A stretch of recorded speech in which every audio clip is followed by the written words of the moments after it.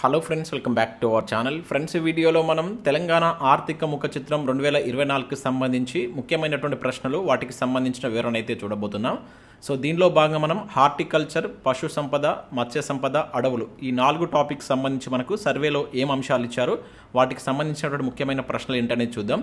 So ఇది మనకు sixth video ఇప్పటివరకు మనం ఫైవ్ వీడియోస్ అయితే అప్లోడ్ చేయడం జరిగింది.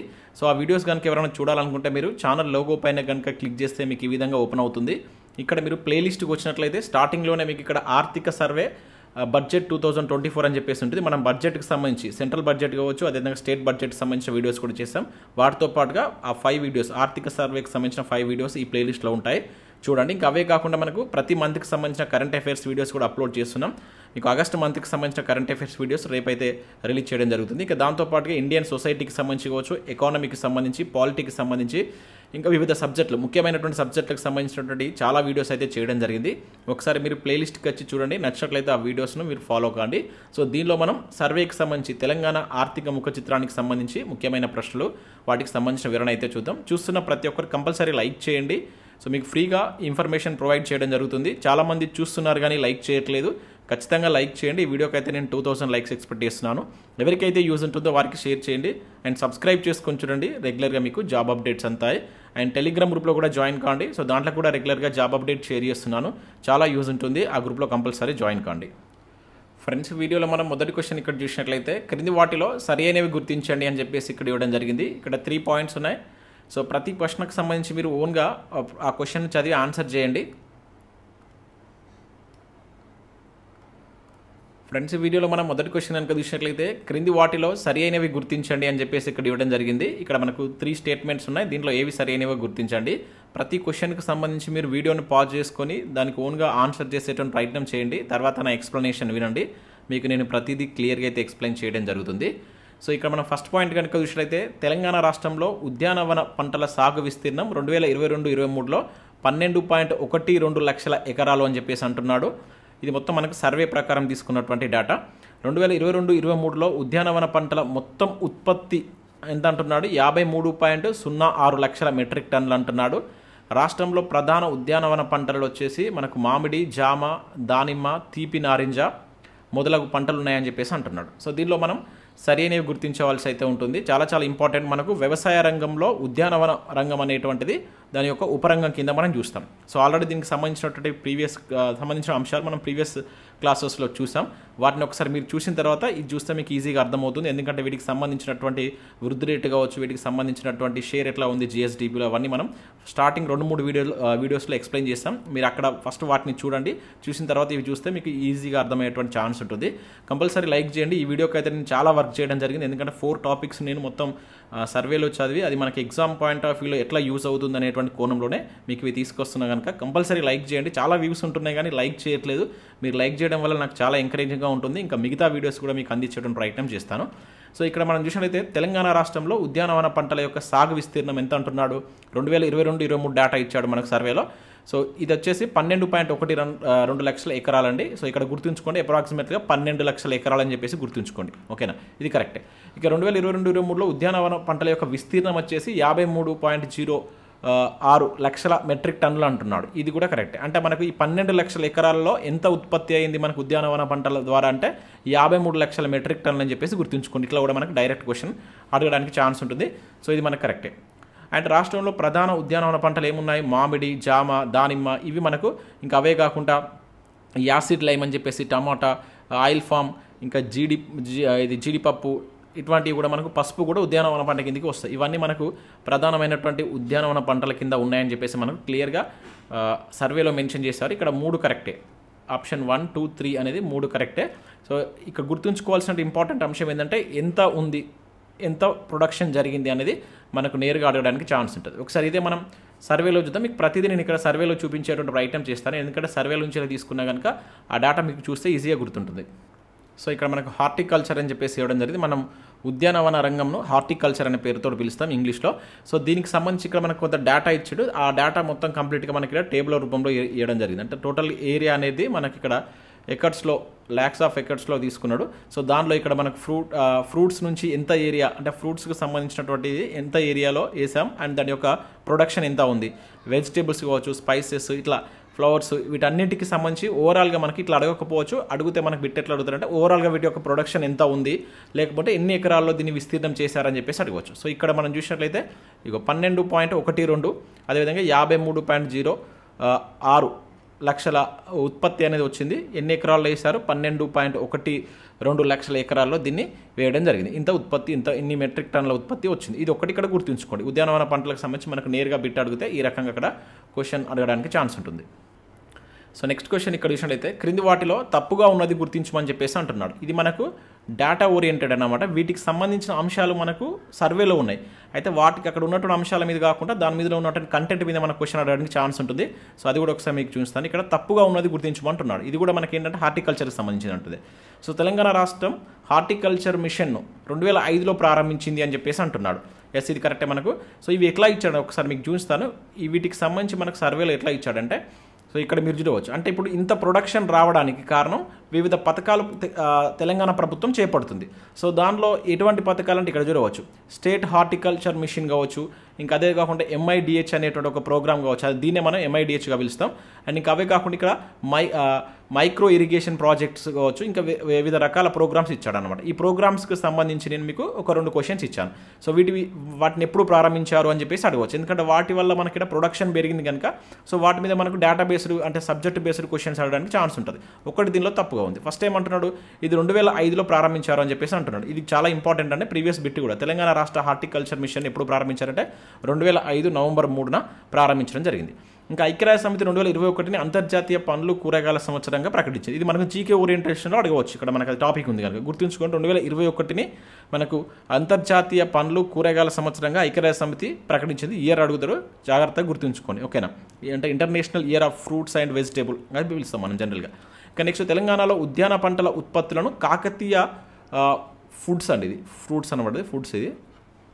ఇది ఫుడ్స్ కాకతీయ ఫుడ్స్ అనేటువంటి బ్రాండ్ నేమ్తో మార్కెటింగ్ మార్కెటింగ్ చేస్తున్నారు అని చెప్పేసి ఇక్కడ మనకి ఇవ్వడం జరిగింది. ఎస్ అంటే వీటికి ఒక బ్రాండ్ ఇచ్చేసి మనకు తెలంగాణ ప్రభుత్వం వీటిని మార్కెట్లోకి రిలీజ్ చేస్తుంది. ఇది డైరెక్ట్ అడగవచ్చు. ఏ బ్రాండ్ తోటి అని చెప్పేసి అంటాడు.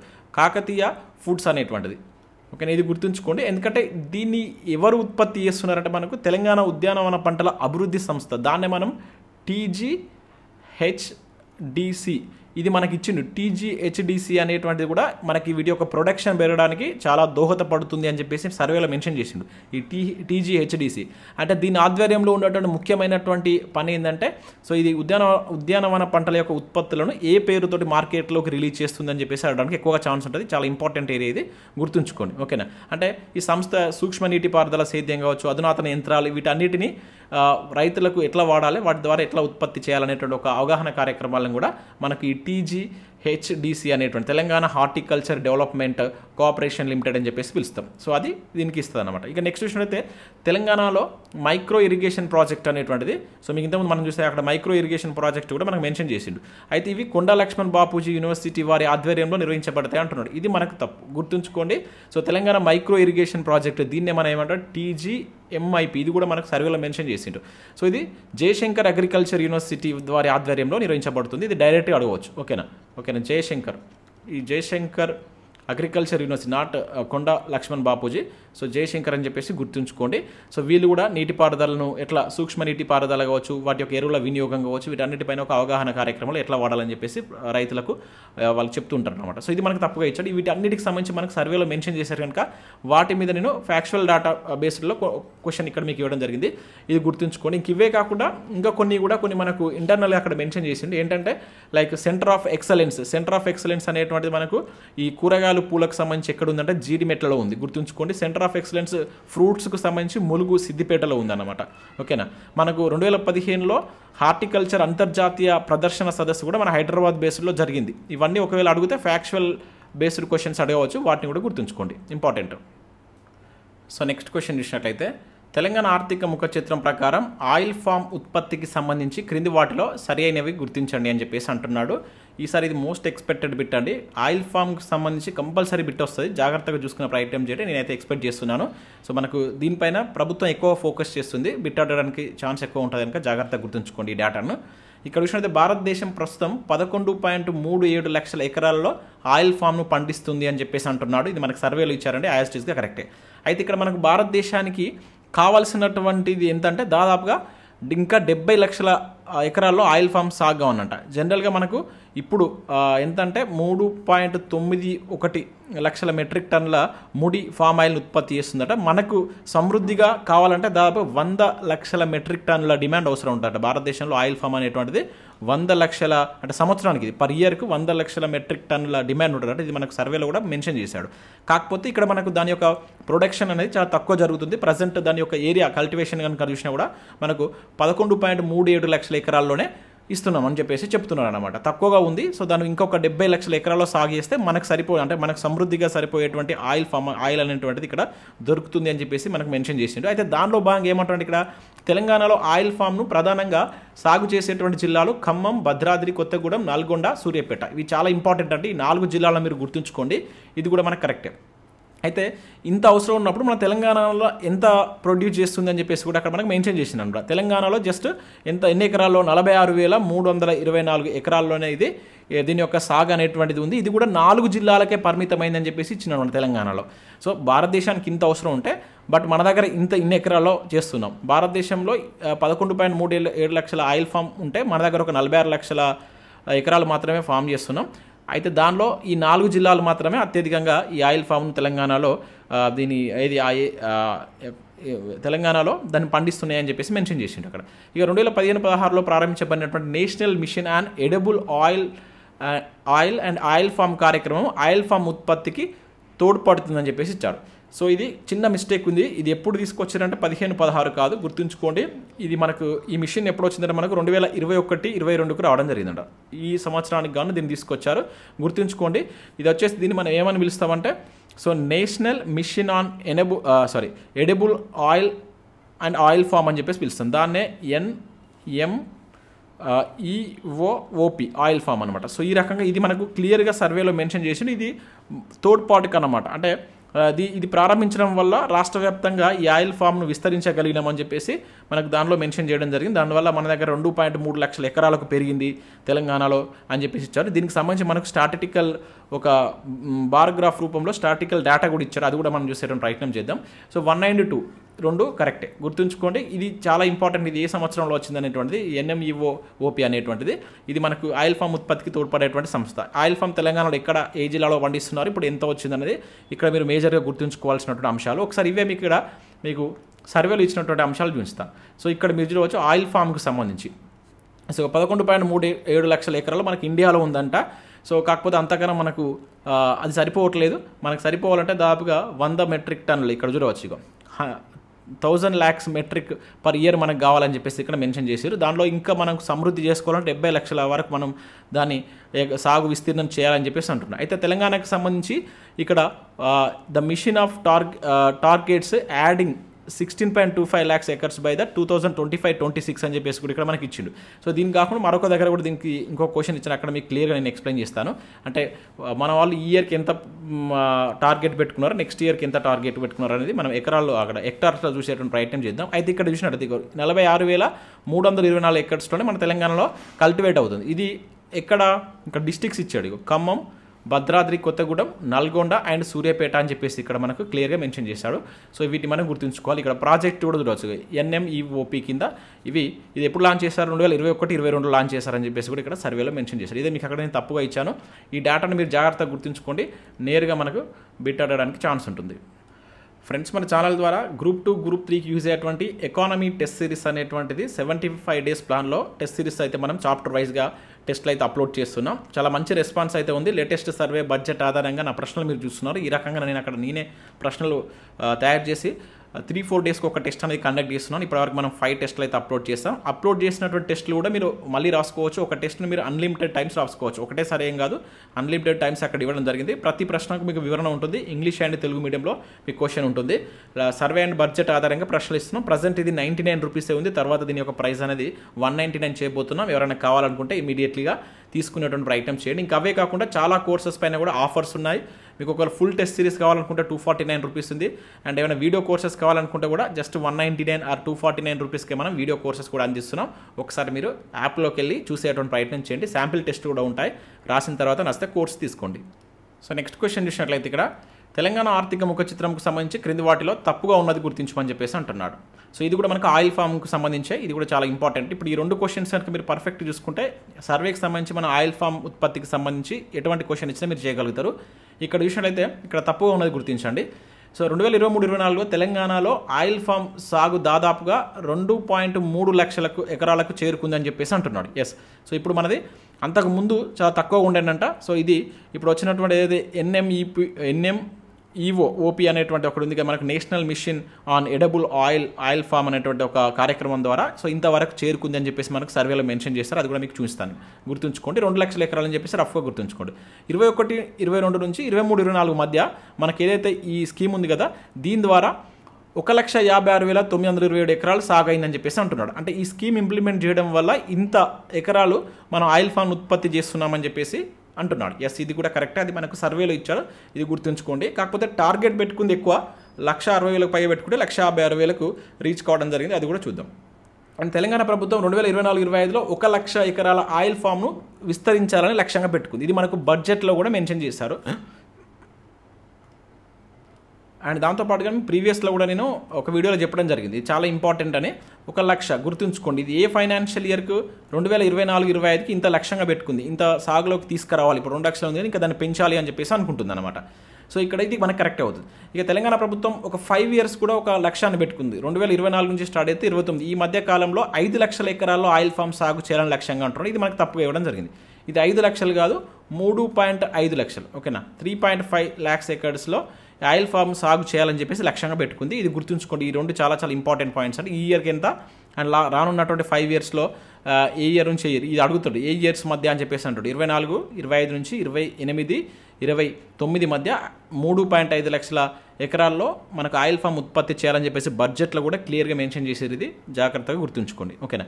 సో ఇది ఇక్కడ ఇది ఫోర్త్ ఇది మనకు తప్పివ్వడం జరిగింది. ఒకసారి దీనికి సంబంధించి ఇక్కడ మనకు ఏమి ఇచ్చారని ఒకసారి చూద్దాం. ఇక్కడ మీరు చూసినట్లయితే performance under oil palm cultivation అని చెప్పేసి ఎకర్స్లో ఇవ్వడం జరిగింది.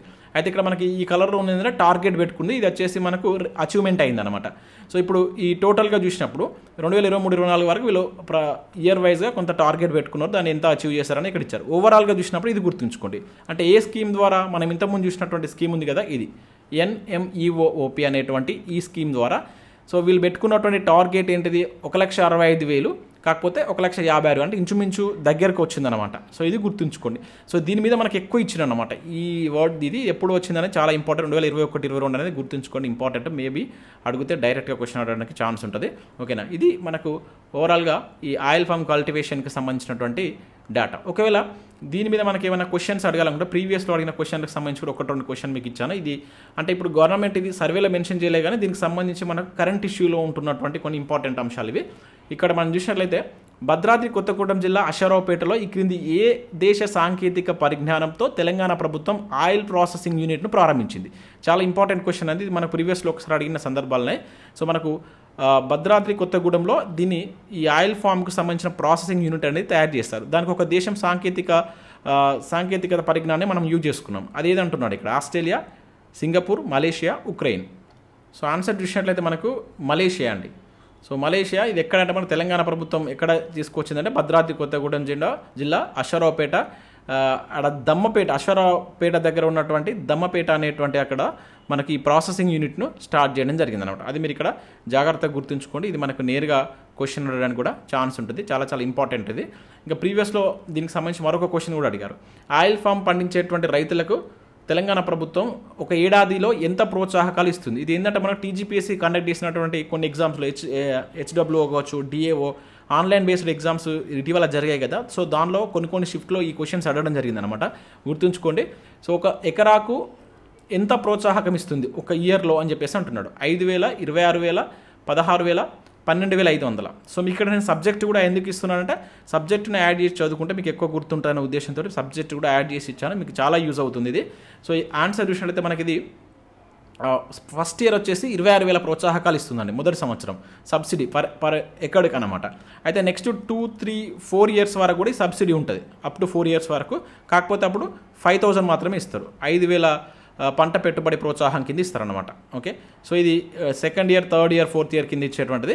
ఇది ఫస్ట్ ఇయర్ ఇచ్చేటువంటి ప్రోత్సాహం. ఎట్లా? ఎకరాకు అనమాట ఒకటే ఎకరాకు అది ఒక సంవత్సర కాలంలో. అది మీరు గుర్తుంచుకోండి. ఇది ప్రీవియస్లో అడిగిన బిట్ కనుక ఇది మనకు ఒకవేళ అడిగితే కంటెంట్ పరంగా అడిగే క్వశ్చన్స్ అవి. ఇక నెక్స్ట్ మళ్ళీ మనం సర్వేకి సంబంధించిన అంశాలు ఇక్కడ చూద్దాం. సో ఇప్పటివరకు మనం హార్టికల్చర్కి సంబంధించి చూస్తాం. నెక్స్ట్ ఇప్పుడు పశు సంపద పైన చూద్దాం. పశు పోషణ రంగంకి సంబంధించి మనకు సర్వేలో ఏమి ఇచ్చారని చూద్దాం. సో ఇక్కడ దీనికి సంబంధించిన క్వశ్చన్ చూసినట్లయితే తెలంగాణ ఆర్థిక ముఖ చిత్రం రెండు వేల ఇరవై నాలుగు ప్రకారం తెలంగాణ పశుపోషణ రంగంకు సంబంధించి క్రింది వాటిలో సరి అనేవని చెప్పేసి అంటున్నాడు. మోస్ట్ ఎక్స్పెక్టెడ్ బిట్లో ఇది కూడా మీకు పేపర్లో పశు సంపద మీకు వెళ్ళి క్వశ్చన్ లేకుండా అస్సలే ఉండదండి. హండ్రెడ్ పర్సెంట్ వస్తుంది. ఎందుకంటే ఇటీవల కాలంలో మనకు మనం ఆల్రెడీ జీడిపి చూసినా కూడా జిఎస్డిపి చూసినా కూడా దానిలో మనకు ఏదైతే ఈ వ్యవసాయ రంగంలో పంటల తర్వాత అత్యధిక షేర్ ఉండేటువంటిది ఏంటిది మనకు? పశు పోషణ అనమాట ఇటీవల కాలంలో భారతదేశంలో కావచ్చు తెలంగాణలో మనకు పశు సంపద పైన ఆధారపడి జీవించేటువంటి ఒక కుటుంబాల సంఖ్య పెరుగుతుంది. సో దీని మీద ఎగ్జామినర్ హండ్రెడ్ పర్సెంట్ ఫోకస్ చేస్తాడు. అండ్ దీనికి సంబంధించి మనకు ఇరవై పశుగణన నివేదిక కూడా ఉంది. రెండు వేల పంద ఇది పంతొమ్మిదిలో రిలీజ్ చేశారు. ఇక్కడ నుంచి మినిమం రెండు క్వశ్చన్స్ వస్తాయి. నేను ఆల్రెడీ మనకు మన ఎకానమీకి సంబంధించినటువంటి టెస్ట్ సిరీస్లో కూడా నేను ఎక్కువగా ఫోకస్ చేశాను. దాదాపుగా ఐదు నుంచి ఆరు క్వశ్చన్స్ని ఈ ఏరియా నుంచి మీకు అక్కడ ఇవ్వడం జరిగింది. మీకు ఎగ్జామ్ రాసిన వాళ్ళకి అర్థమై ఉంటుంది. బిట్టి కొంచెం మనం ఎక్స్పెక్ట్ చేయవచ్చు. మనం చదువుతున్నప్పుడు ఇటువంటి ఏరియాస్ను ఫస్ట్ మనం కంప్లీట్ చేయాలి. చాలా మంది ఎకానమీ అర్థమైతలేదు సార్ ఏం చదవాలి గుర్తుంటలేదు అని చెప్పేసి అంటారు. మీకే కాదు చాలా మందికి ఎకానమీ అనేది అలానే ఉంటుంది. మీరు ఇప్పుడు చదివి మళ్ళీ చదివితే మళ్ళీ కొత్తగానే అనిపిస్తుంది మీరు ఎన్నిసార్లు చదివినా మళ్ళీ కొత్తగానే అనిపిస్తూ ఉంటుంది సో అప్పుడు మీరు ఏం చేయాలి? ఇంపార్టెంట్ ఏరియాస్ వేటేజ్ ఉన్నటువంటి ఏరియాస్ మీరు ఒక దగ్గర రాసుకోవాలి. క్వశ్చన్ పడేటువంటి ఏరియాస్ని రాసుకొని వాటిని ఎక్కువగా రివిజన్ చేసినట్లయితే ఇప్పుడు ఒక టాపిక్ ఫస్ట్ ఫస్ట్ మీరు ఏం చేయాలంటే ఏ చాప్టర్స్ ఇంపార్టెంట్ తీసుకోవాలి. తర్వాత చాప్టర్లో కూడా ఇంపార్టెంట్ ఏరియాస్ని సెలెక్ట్ చేసుకొని ఎక్కువగా రివిజన్ చేస్తే ఎకానమీ అనేటువంటిది మీకు ఈజీగా ఆ టాపిక్స్ అర్థమైన తర్వాత మిగతా వాటిపైన మీరు ఫోకస్ చేయడానికి ఛాన్స్ ఉంటుంది. మీరు మొత్తం ఓవరాల్గా చదివినప్పుడు మళ్ళీ మళ్ళీ చదివితే మీరు ఎన్నిసార్లు చదివినా కూడా మళ్ళీ కొత్తగానే అనిపిస్తుంది కనుక కొంచెం ఎగ్జామ్ పాయింట్ ఆఫ్ వ్యూలో ఇంపార్టెంట్ ఏంటిది? మనం వెయిట్కి ఎక్కువగా ఫోకస్ చేయాలనేటువంటి దృష్టిలో పెట్టుకొని చదవండి. గ్రూప్ టూ గ్రూప్ త్రీ లాంటి ఎగ్జామ్లో మనకు మీరు అనుకున్నంత ఈజీగా క్వశ్చన్స్ ఉండవు. ఎందుకంటే మనం చేసేటువంటిది జాబ్ అనేటువంటిది మంచి సర్వీస్ అనమాట మన కింద ఇప్పుడు ఒక ఎంఆర్ఓ అయింది అనుకోండి ఒక మండల్కు మనం బాస్ ఎక్కడ? అంటే మనం ఒక ఎగ్జామినర్ మనం ఎట్లా ఎట్లా టెస్ట్ చేయాలి?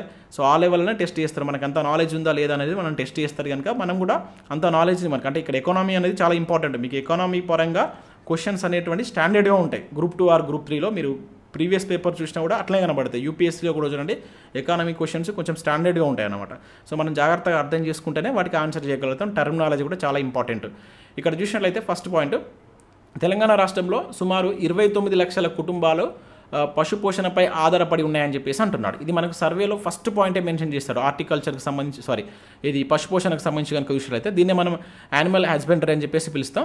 అక్కడ మనకు స్టార్టింగ్లోనే ఇరవై తొమ్మిది లక్షల కుటుంబాలు అనేటువంటిది మనకు ఈ జీవనోపాధికి అనేటువంటిది ఓన్లీ ఈ పశుపోషణ నుంచి లభిస్తుంది అని చెప్పేసి ఇక్కడ మనకు మెన్షన్ చేయడం జరిగింది. కరెక్టే గుర్తుంచుకోండి.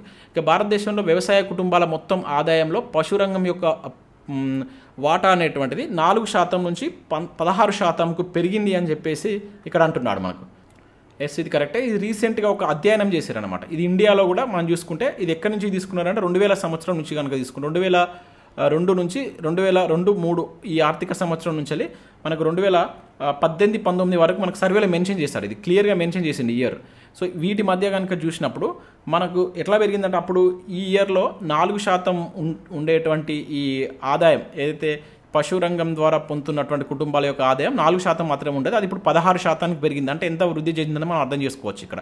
సో ఇది రీసెంట్ మనకు ఒక సర్వే చెప్తుంది అనమాట ఇక తెలంగాణ రాష్ట్రంలో మరి రెండు వేల పన్నెండు నుంచి రెండు వేల పంతొమ్మిది మధ్య ఈ పశు పశువుల యొక్క జనాభా ఇరవై రెండు శాతం వృద్ధి చెందింది అంటున్నాడు. ఎస్ ఇది మనకు పశుగణంలో ఇవ్వడం జరిగింది. ఇది గుర్తుంచుకోవాలండి. ఇరవై రెండు పాయింట్ సంథింగ్ ఉంటుంది.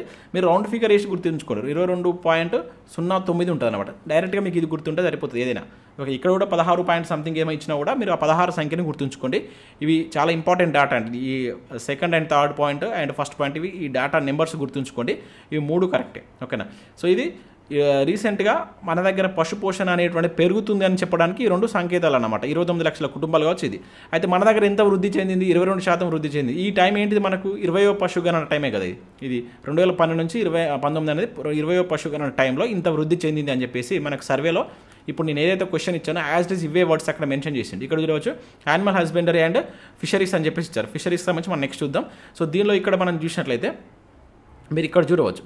ఎంత పెరిగిందని చెప్పేసి ఇక్కడ ఇయర్స్తో పాటుగా లేటెస్ట్ సర్వే అంశాలను కూడా ఇచ్చాడు. ఇక సిక్స్టీన్ పర్సెంటేజ్ పెరిగిందంట. Two thousand eighteen nineteen from four percentage in the two thousand twenty two twenty three sorry two thousand two two thousand త్రీలో ఉంటే ఇంత ఉండే ఫోర్ పర్సెంటేజ్ ఇది సిక్స్టీన్ పర్సెంటేజ్ పెరిగిందని చెప్పేసి అంటున్నాడు. ఇక్కడ చూడవచ్చు about twenty nine lakhs families in Telangana state are engaged in the livestock sector అని చెప్పేసి ఇస్తున్నాం. అంటే దీని ద్వారా వీళ్ళు ఇంత ఉపాధి పొందుతున్నారని జీవన ఉపాధి పొందుతున్నారని చెప్పేసి ఇక్కడ మనకు ఇవ్వడం జరిగింది అనమాట ఇక దాంతోపాటు ఇక్కడ రెండు వేల పన్నెండు పంతొమ్మిది కాలంలో ఎంత వృద్ధి చెందిందని కూడా ఇచ్చారు. ఇరవై రెండు పాయింట్ సున్నా తొమ్మిది గ్రోత్ రేట్ అనేటువంటిది ఉందంట. సో అంటే మనకు మంచి గ్రోత్ రేట్ వచ్చిందని చెప్పేసి చెప్తున్నారు. అప్పుడు ఎంత ఉండేదంట? ఇరవై ఆరు పాయింట్ ఏడు బిలియన్లు ఉండేటువంటిది. ఇప్పుడు ముప్పై రెండు పాయింట్ ఆరు బిలియన్లకు పెరిగిందంట. ఏటీవీటీ యొక్క లైవ్ స్టాక్ యొక్క పాపులేషన్ అనేటువంటిది ఇంత పెరిగింది. అంత పెరగడం వల్ల మనకు వృద్ధి ఎంత వచ్చింది? ట్వంటీ టూ పర్సెంట్ వచ్చిందని చెప్పేసి చెప్తున్నాడు సర్వేలో సో దీని మీద మనకు క్వశ్చన్ ఎట్లయినా కూడా అడగడానికి ఛాన్స్ ఉంటుంది కనుక నేను దాన్ని మీకు సింప్లిఫై చేసి ఇక్కడ క్వశ్చన్ రూపంలో ఇచ్చాను. ఇవన్నీ కరెక్టే మనకు జాగ్రత్తగా మీరు ఆ డేటాను మీరు గుర్తుంచుకునే ప్రయత్నం చేయండి. నెక్స్ట్ క్వశ్చన్ చూసినట్లయితే తెలంగాణ ఆర్థిక ముఖ చిత్రం రెండు వేల ఇరవై నాలుగుకి సంబంధించి క్రింది వాటిలో సరి అయినవని చెప్పేసి అంటున్నాడు. ఇక్కడ చూసినట్లయితే భారతదేశ పశు పోషణ రంగానికి తెలంగాణ నుండి ఇరవై ఐదు శాతం అంటే ఇరవై శాతం గొర్రెల ద్వారా వాటా అందుతుందని చెప్పేసి అంటున్నాడు. ఏదైతే మనకి ఇప్పుడు పశు పోషణలకు తీసుకుంటే చాలా ఉంటాయి. దానిలో మనకు గొర్రెలు కావచ్చు ఆవులు కావచ్చు రకరకాల జంతువులు ఉంటాయి కదా. సో ఓవరాల్గా మన తెలంగాణలో అత్యధికంగా దేని ద్వారా పోతుంది ఇండియా కంటే ఈ గొర్రెల యొక్క పెంపకం యొక్క వీటి యొక్క పాపులేషన్ ద్వారానే పోతుంది వీటి యొక్క షేర్ ద్వారానే పోతుందని చెప్పేసి అంటున్నాడు. ఎస్ ఇది కరెక్ట్ ఇది మనకు సర్వేలో మెన్షన్ చేశారు. మీకు చూపిస్తాను అక్కడ. మొత్తం పశు పోషణ ద్వారా మరి భారతదేశానికి ఎంత వాటా వెళ్తుంది అంటే ఎనిమిది శాతం అంటున్నాడు. ఇది మనకు తప్పుగా ఇవ్వడం జరిగింది. ఇది ఎనిమిది శాతం కాదు ఆరు శాతం. సిక్స్ పాయింట్ సంథింగ్ ఉందో ఆరు అని చెప్పేసి గుర్తుంచుకోండి. అండ్ పౌల్ట్రీ ద్వారా ఎంత పోతుందో? లెవెన్ అంటున్నాడు. ఎస్ ఇది కరెక్టే సో ఇక్కడ వన్ నైంటీ త్రీ అనేది కరెక్ట్ ఆన్సర్ అవుతుంది. ఇక్కడ మీరు గుర్తుంచుకోవాల్సిందంటే అత్యధికంగా మనకు దేని ద్వారా పోతుంది? గొర్రెల ద్వారా పోతుంది. పశు ఇది మనకు పశుపోషణకు సంబంధించినటువంటి రంగంలో. ఓవరాల్గా మనకు లైఫ్ స్టాక్ సంబంధించినటువంటి ఓవరాల్ చూసుకుంటే భారతదేశానికి మనం ఎంత ఇస్తున్నామంటే ఆరు శాతం ఇస్తున్నాం అనమాట భారతదేశం యొక్క జీడిపికి అనుకోవచ్చు జీవీఏకి అనుకోవచ్చు ఓకేనా అయితే ఇది మనకు ఒక టేబుల్ రూపంలో ఇచ్చిండు.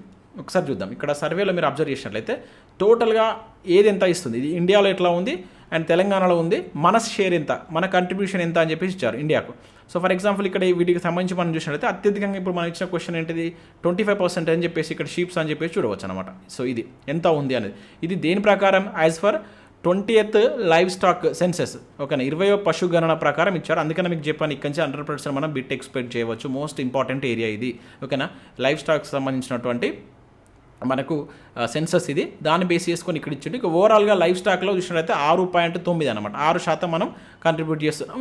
అదే మనకు పౌల్ట్రీ నుంచి ఎంత ఇస్తున్నామంటే సో తొమ్మిది పాయింట్ మూడు తొమ్మిది. ఇది చూడండి ఇది మనకు లైవ్ స్టాక్ వేరే ఇచ్చిన మళ్ళీ దానికి సంబంధించి ఫోల్టరీ కూడా వేరే ఇచ్చింది అనమాట సో ఈ రెండు మీరు సపరేట్గా గుర్తుంచుకోవాల్సి ఉంటుంది. వీటికి సంబంధించి ఇక్కడ మనకు ఒక బార్ డయాగ్రామ్ రూపంలో కూడా ఇవ్వడం జరిగింది. ఇక్కడ అత్యధికంగా మీరు ట్వంటీ ఫైవ్ పర్సెంట్ షీప్స్ చూడవచ్చు. దాని తర్వాత ఇక పౌల్ట్రీ కూడా లెవెన్ పర్సెంట్ పర్సెంటేజ్లోకి చేంజ్ చేసి ఇచ్చాడనమాట సో ఓవరాల్ మీరు ఇక్కడ హైయెస్ట్వి గుర్తుంచుకోండి సెకండ్ ఇది గుర్తుంచుకోండి అండ్ మొత్తం ఎంత ఇస్తున్నది గుర్తుంచుకోండి. ఈ మూడు ఈ టేబుల్ నుంచి మనం గుర్తుంచుకోవాల్సినటువంటి ఇంపార్టెంట్ అంశాలు. అన్నీ అవసరం లేదు. ఓవరాల్గా ఎంత ఇస్తున్నాం? హైయెస్ట్గా మనకి ఇక్కడి నుంచి వెళ్తుంది. ఇక్కడ మనకి దీనికి సంబంధించి సపరేట్గా ఇచ్చాడు కనుక మీకు అందుకని పౌల్ట్రీ నుంచి కూడా ఎంత పోతుంది అనేది కూడా ఒక పాయింట్ మీరు గుర్తుంచుకోండి. ఒకవేళ క్వశ్చన్ డిఫికల్ట్గా ఇవ్వాలనుకున్నప్పుడు అటువంటివి కూడా అక్కడ యాడ్ చేస్తారనే ఉద్దేశంతో నేను దాన్ని కూడా మీకు మెన్షన్ చేసి క్వశ్చన్ రూపంలో ఇచ్చాను. ఇక నెక్స్ట్ మరి ఇక్కడ సర్వేలో ఏం మెన్షన్ చేశాడంటే సో ఇంత పశు పోషణ అనేటువంటి పెరగడానికి గల కారణం కొన్ని ప్రభుత్వం చేపడుతున్నటువంటి కార్యక్రమాలు. మీరు ఏ సర్వే చూసుకున్నా కూడా ఫస్ట్ ఒక డేటా ఇస్తారండి. ఆ డేటా ఇంత పెరిగింది అంటాడు ఇంత పెరగడానికి ప్రభుత్వం ఏం చేసింది అనేది ఆ పథకాలు మెన్షన్ చేస్తారు. ప్రతిదీ ఇదే ఉంటుంది అక్కడ. మనం అర్థం చేసుకున్న దాన్ని బట్టి మనం దాన్ని ఆన్సర్ చేయవచ్చు. ఏముంటుంది? ప్రభుత్వం ఏదైనా ఒకటి ఒక దానిలో ఇంత పెరిగిందని చెప్పేసి చెప్తాడు. అంటే అంతకుముందు ఇలా ఉండదు ఇంత వృద్ధి సాధించాం ఇంత వరకు తీసుకెళ్ళాం దీనిలో మేము ఇక్కడ నుంచి పెట్టుబడులు పెట్టామని చెప్పేసి పెడతాడు. సో ఇంత అభివృద్ధి చేయడానికి కారణం ఏంటంటే మా ప్రభుత్వం. చెప్పాలి కదా వాళ్ళ ప్రభుత్వం అనేటువంటిది మేము ఈ కార్యక్రమాలు చేసాం ఈ స్కీమ్ తీసుకొచ్చాం ఇక్కడ ఇంత వృద్ధి చేసాం ఇంత సబ్సిడీ ఇచ్చామని చెప్పేసి చెప్తారు. సో ఇట్లా ఉంటుంది సర్వే మొత్తం ప్రతిదీ ఇట్లే ఉంటుంది. మీరు మంచిగా చదివితే ఇట్లే అర్థం చేసుకున్నట్లయితే ఈజీగా ఆన్సర్ చేయవచ్చు. ఇక్కడ మనం చూసినట్లయితే రైతులకు పాడి పరిశ్రమ ద్వారా లాభం చేకూర్చేందుకు ప్రభుత్వ డైరీ అయినటువంటి విజయ డైరీ ఫౌండేషన్ ఫెడరేషన్కు లీటర్ పాలకు ప్రభుత్వం ఎంత ప్రోత్సాహకం అందిస్తుంది అనేది మనకు సర్వేలో కూడా మెన్షన్ చేసిండు. ఇది గతంలో ఉన్నటువంటిదే. ఇంపార్టెంట్ ఒకసారి క్వశ్చన్ కూడా వచ్చింది ప్రీవియస్లో. లీటర్కి ఎంత అందిస్తుంది? పది రూపాయల ఐదు రూపాయల నాలుగు రూపాయల రెండు రూపాయలు అని చెప్పేసి ఇక్కడ మనకి ఇవ్వడం జరిగింది. సో ఆన్సర్ విషయంలో అయితే మనకి ఇది ఫోర్ అండి. ఫోర్ రూపీస్ అనేది సబ్సిడీ ఇస్తుంది అనమాట అంటే ఎందుకు ఇస్తుంది? ఇప్పుడు యాక్చువల్గా మనకు పాడి రైతులకు ప్రభుత్వ డైరీ అయింది ప్రభుత్వ డైరీ ఏది మన దగ్గర? విజయ డైరీ. ఓకే ఇది మనకు ప్రీవియస్లో అడిగింది విజయ డైరీ. ఈ విజయ డైరీ వాళ్ళు రైతుల దగ్గర నుంచి ఎవరైతే ఈ పశువుల ద్వారా పాలు అమ్ముతున్నటువంటి వ్యక్తులు దగ్గర నుంచి పాల్గొంటారు కదా ఈ నాలుగు రూపాయలు ప్రోత్సాహకం ఇవ్వడం వల్ల అది వాళ్ళు ఆ రేట్ ఎక్కువ రేటు. ఇప్పుడు అక్కడ పది రూపాయలకు లీటర్ కొంటున్నప్పుడు ఇంకొక నాలుగు రూపాయలు గవర్నమెంట్ సబ్సిడీ ఇచ్చింది కనుక పద్నాలుగు రూపాయలు పెట్టి వాళ్ళు పాలు తీసుకోవడం జరుగుతుంది అనమాట ఈ నాలుగు రూపాయలు దీనిలో గవర్నమెంట్ ఇచ్చేటువంటి సబ్సిడీ. ఎందుకు ఇస్తుంది? రైతులకు ఎవరైతే పాడి పరిశ్రమ ద్వారా లబ్ధి చెందేటువంటి రైతులకు కొంత సబ్సిడీ రూపంలో గవర్నమెంట్ తరపున ప్రోత్సాహం ఇవ్వడం వల్ల వాళ్ళకి లాభం ఉంటుంది కనుక వాళ్ళు ఇంకెక్కువ పశు పోషణ రంగాన్ని కావచ్చు ఇంకా పశువులను ఎక్కువ వాళ్ళు తీసుకొచ్చి వాటికి సంబంధించినటువంటి ఉపాధి కార్యక్రమాలు చేసుకుంటారనే ఉద్దేశంతో ఇట్లా గవర్నమెంట్ ఒకటి చేస్తుంది. ఇవే కాకుండా వీటికి అనుబంధంగా ఉన్నటువంటి కొన్ని మనకి ఏదైతే ఈ విజయ డైరీకి అనుబంధంగా ఉన్నటువంటి మదర్ డైరీ అనేది కూడా మనం మెన్షన్ చేసిండు సర్వేలో. మదర్ డైరీ కావచ్చు అదేవిధంగా కరీంనగర్ డైరీ అని చెప్పేసి మూడు డైరీలు మెన్షన్ చేసిండు. అండ్ ఆ దాంతోపాటుగా పాడి పశువులకు సంబంధించి ప్రోత్సాహకాలు కూడా ఇస్తున్నాం. పదివేల రూపాయల సబ్సిడీ కూడా ఇస్తున్నాం అని చెప్పేసి కూడా మనకు క్లియర్గా సర్వేలో మెన్షన్ చేసిండండి మీరు వాటిని మీరు జాగ్రత్తగా గుర్తుంచుకోండి ఒకసారి మీకు ఇక్కడ చూపిస్తాను. సర్వేలో అంటే ఇంత లైఫ్ స్టాక్ పెరగడానికి గల కారణం ఇక్కడ ఏంటి అని చెప్తున్నా అనేది కూడా మనకు మెన్షన్ చేసింది. ఇక్కడ మీరు చూడవచ్చు. సో లైవ్ స్టాక్ అనేటువంటి ఎంత పెరిగింది మనం ఇది ఆల్రెడీ సర్వేలో చూసాం. అందుకని ఇక్కడ నేను లాస్ట్ మనం ఏది మీకు ఫస్ట్ టూ వీడియోస్ ఏం చెప్పాను? ప్రాథమిక రంగంలో ఎట్లా ఉంది? ద్వితీయ రంగం ఎట్లా ఉంది? తృతీయ రంగం ఎట్లా ఉంది? వీటి యొక్క వాటా ఎంత? వీటి యొక్క షేర్లు ఎంత అనేది చూస్తాం వీటి యొక్క వృద్ధి రేట్ అనేది ఎంత అని చూస్తాం దీనిలో మళ్ళీ వ్యవసాయ రంగం గురించి చూసాం. అండ్ పరిశ్రమ రంగం గురించి చూసాం సేవా రంగం సంబంధించి కూడా చూసాం. అక్కడ ఆల్రెడీ వీటి వీటిని డిస్కస్ చేసినామని చెప్పేసి మళ్ళీ ఇక్కడ చెప్పట్లేదు. గుర్తుంచుకుంటే రెండు సార్లు అవుతుంది. ఆల్రెడీ నేను ఫస్ట్ టూ వీడియోస్లో చెప్పాను. ఇది జిఎస్పీ యొక్క వాటా ఎట్లా ఉంది కరెంట్ ప్రైస్లో ఎట్లా ఉంది? అప్పుడు లాస్ట్ ఇయర్ తొంభై వేల ఉంటే ఇప్పుడు దీని ఇది కాస్త తొంభై ఎనిమిది వేలకు పెరిగిందని చెప్పేసి ఇక్కడ మెన్షన్ చేసింది ఇది మీకు నేను ప్రీవియస్లో ఇచ్చాను కనుక. ఇప్పుడు మళ్ళీ అది ఎక్స్ట్రా అవుతుందని ఇవ్వట్లేదు అనమాట ఇప్పుడు మనకేంటిది ఇక్కడ చూడవచ్చు. సో ఇంత ఈ ఫస్ట్ ఏంది? ఇంత వృద్ధి చెందింది. దీనికి గల కారణం ఏంటంటే మేము చేపడుతున్నటువంటి కొన్ని కార్యక్రమాలు అని చెప్పేసి చెప్తున్నాడు. దానిలో భాగంగా ఇక్కడ మీరు చూసినట్లయితే ఇగో ఈ మిల్క్ స్కీమ్కి సంబంధించి ఫోర్ రూపీస్ మేము లీటర్ సబ్సిడీ ఇస్తున్నామని చెప్పేసి చెప్తున్నారు. అవి ఏదంటే ఇక ముల్కనూరు కరీంనగర్ అదేవిధంగా విజయ సో వీటికి సంబంధించినటువంటి వాటిని ఇస్తున్నాం. అదేవిధంగా మొబైల్ అంటే మొబైల్ ప్లాట్ఫామ్ ప్లాట్ఫామ్స్ ద్వారా కూడా వీటిని మేము ప్రజల దగ్గర నుంచి కొంటున్నాం. అండ్ పశువులకు సంబంధించినటువంటి కొంత అంటే వాటికి సంబంధించిన హాస్పిటల్స్ పెట్టి వాటి యొక్క ఆరోగ్యానికి సంబంధించిన కొన్ని చర్యలు తీసుకుంటున్నాం అని చెప్పేసి కూడా ఇక్కడ మొత్తం మెన్షన్ చేసింది అవి మనకు అడగకపోవచ్చు. సో ఇంపార్టెంట్ అంశాలు మాత్రం మీకు తీసుకొని ఇక్కడ చెప్పడం జరిగింది. ఇక్కడ వచ్చి డిస్టిక్ ఒక వెటనరీ హాస్పిటల్ తీసుకొచ్చామని చెప్పేసి కూడా వాళ్ళు చెప్తున్నారు. సో వాటికి సంబంధించి ఇక్కడ మనకు సర్వేలు ఇవ్వడం జరిగింది. దానిలో ఇంపార్టెంట్ అంశాలు మీకు క్వశ్చన్ రూపంలో ఇచ్చాను. నెక్స్ట్ మరో క్వశ్చన్ చూసినట్లయితే ఇరవై పశుగణాల గురించి చూద్దాం. కొన్ని ఇది స్టాటిక్ బేస్డ్ క్వశ్చన్స్ ఇచ్చాను ఇక్కడ. ఇంపార్టెంట్ అండి కంటెంట్ బేస్డ్ క్వశ్చన్స్ ఇక్కడ నుంచి కంపల్సరీ పడుతుంది. ఇక్కడ చూసినట్లయితే ఇరవై పశుగణకు సంబంధించి క్రింది వాటిలో సరి అనేమంటున్నాడు సో పశు సంపద పెరుగుదల గల ప్రధాన రాష్ట్రాలలో తెలంగాణ దేశంలోనే మొట్టమొదటి ప్లేస్లో ఉందని చెప్పేసి అంటాను పెరుగుదల అంటున్నాడు. పెరుగుదల అంటే మనం ఏం తీసుకోవాలి? లాస్ట్ ఇయర్కు ఈ ఇయర్కు ఎంత పెరిగిందనేది చూసుకుంటాం. గుర్తుంచుకోండి. ఇప్పుడు పశు సంపద పెరుగుదల అనేటువంటిది ఎట్లంటే ఫర్ ఎగ్జాంపుల్ ఈ ఎట్లా అంటే ఇరవై పశుగణన ఎట్లా చెప్తుంది? మనకు రెండు వేల పన్నెండు నుంచి పంతొమ్మిది వరకు ఉన్నటువంటి డేటా చెప్తుంది. ఇది అంతకుముందు ఉన్నటువంటి ఫైవ్ ఇయర్స్ బిఫోర్ ఉన్నటువంటి డేటాను బేస్ చేసినప్పుడు ఎంత పెరుగుదల వచ్చిందనేటువంటిది ఇస్తానమాట అట్లా పెరుగుదల పరంగా చూసుకుంటే మన తెలంగాణ రాష్ట్రం భారతదేశంలో రెండో ప్లేస్లో ఉంది. ఓకేనా? మొదటి ప్లేస్ కాదు రెండో ప్లేస్లో ఉంది. ఫస్ట్ ఏది ఉంది? మనకు వెస్ట్ బెంగాల్ ఉంది. గుర్తుంచుకోండి పెరుగుదల పరంగా చూస్తే వెస్ట్ బెంగాల్ ఫస్ట్ తర్వాత తెలంగాణ సెకండ్ ప్లేస్లో ఉంది. అయితే ఇక నెక్స్ట్ ఇది తప్పు ఇచ్చాను అనమాట ఇంకా రెండు వేల పంతొమ్మిది పశుగణన ప్రకారం సంఖ్యాపరంగా తెలంగాణ రాష్ట్రం ఎనిమిదో ప్లేస్లో ఉంది. ఇది కరెక్ట్. ఓకేనా? సంఖ్యాపరంగా అంటే ఎన్ని పశువులు ఉన్నాయి? వాటి యొక్క పాపులేషన్ పరంగా ఎయిత్ ప్లేస్ అండ్ వృద్ధిపరంగా అంటే వాటి యొక్క లాస్ట్ ఇయర్కి ఇయర్కి పెరుగుదల రేటు పరంగా చూసుకుంటే సెకండ్ ప్లేస్ ఉంది. సో ఇక్కడ ఫస్ట్ ప్లేస్ వెస్ట్ బెంగాల్ ఉంటే ఇక్కడ వచ్చేసి మనకి యూపీ ఉంది. ఎందుకంటే యూపీలో మెంబర్స్ ఎక్కువ ఉంటారు కనుక ఆటోమేటిక్గా అక్కడ వాటి యొక్క పాపులేషన్ కూడా ఎక్కువనే ఉంటుంది. ఓకే వాటిపైన ఆధారపడే వాటి యొక్క ఆధారపడే వారి యొక్క జనాభా కూడా ఎక్కువనే ఉంటుంది. సో యూపీ ఫస్ట్ ప్లేస్లో ఉంది. మొదటి స్థానం గుర్తుంచుకొని మనది సంఖ్యాపరంగా ఎనిమిదో ప్లేస్లో ఉందని గుర్తుంచుకోండి. ఓకేనా? అట్లా కూడా మనకు బిట్టడానికి ఛాన్స్ ఉంటుంది. ఓకే ఇక్కడ ఏమవుతుంది ఆన్సర్ ఆప్షన్ టూ ఫస్ట్ తప్పు కనుక మనం సరి అయింది అడిగినాం కనుక ఆప్షన్ వన్ అనేది కరెక్ట్ ఆన్సర్ అవుతుంది.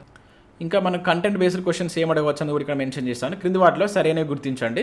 సో తెలంగాణ రాష్ట్రం రాష్ట్ర పశువుగా మనకు పొడజాతి పశువును రాష్ట్ర ప్రభుత్వం గుర్తించింది అని చెప్పేసి అంటున్నాడు. ఎస్ ఇది ఇంపార్టెంట్ అండి.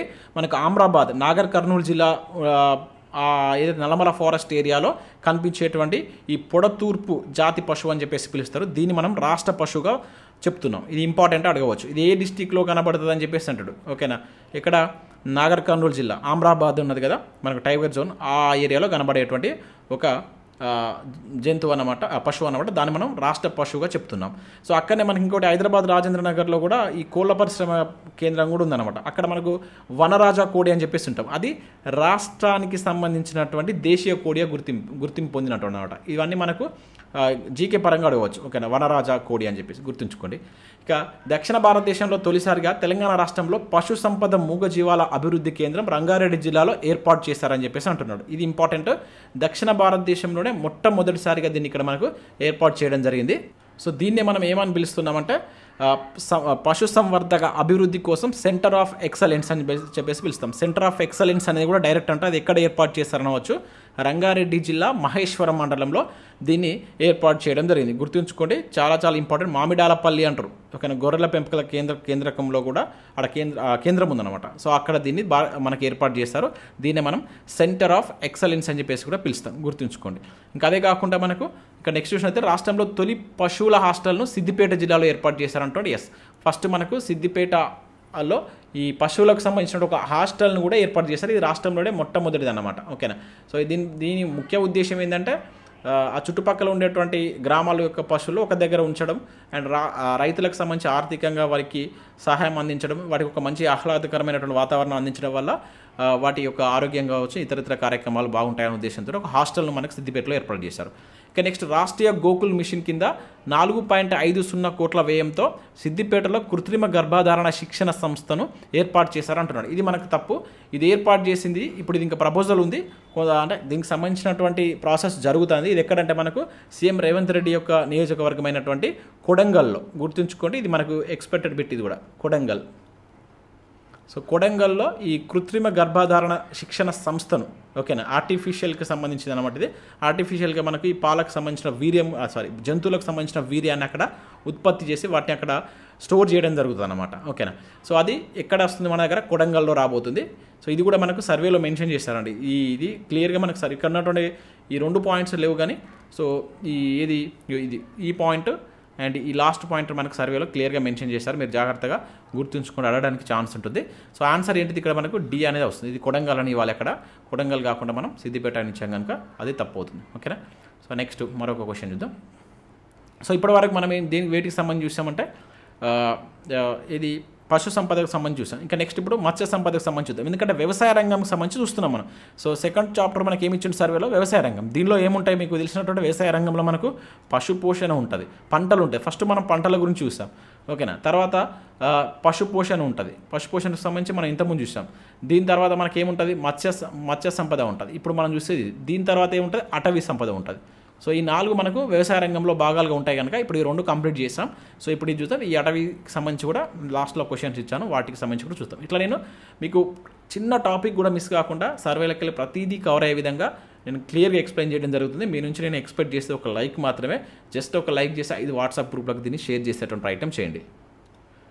సో నెక్స్ట్ క్వశ్చన్ ఇక్కడ చూసినట్లయితే తెలంగాణ ఆర్థిక ముఖ చిత్రం రెండు వేల ఇరవై నాలుగు ప్రకారం మత్స్య రంగంకు సంబంధించి క్రింది వాటిలో సరి అనేమంటున్నాడు సో ఇక్కడ ఇన్లాండ్ ఫిషరీ వనరుల్లో తెలంగాణ రాష్ట్రం భారతదేశంలో మూడవ స్థానంలో ఉందంటున్నాడు. ఎస్ ఇది కరెక్టే ఇన్లాండ్ అంటే ఏంటిదంటే మనకు యాక్చువల్గా ఫిషెస్ను పెంచాలంటే సముద్రం ఉండాలి. బట్ మనకు భారతదేశంలో మనం భారతదేశాన్ని కనుక చూసుకుంటే ఈ సముద్రాన్ని ఆనుకున్నటువంటి వాళ్ళకి మాత్రమే ఆ ఫెసిలిటీ ఉంటుంది. But middle of the states ఉంటాయి కదా. ఇవన్నీ మనం ఏమంటాం జనరల్గా భూ పరివేష్టిత రాష్ట్రాలు అంటాం కదా.